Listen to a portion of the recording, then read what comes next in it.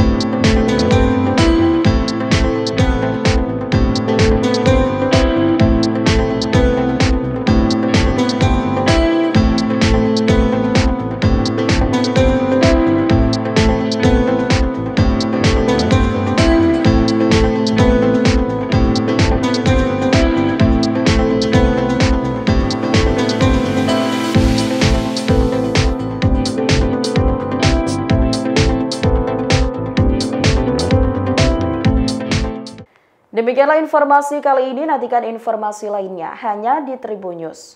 Terima kasih sudah nonton, jangan lupa like, subscribe, dan share ya.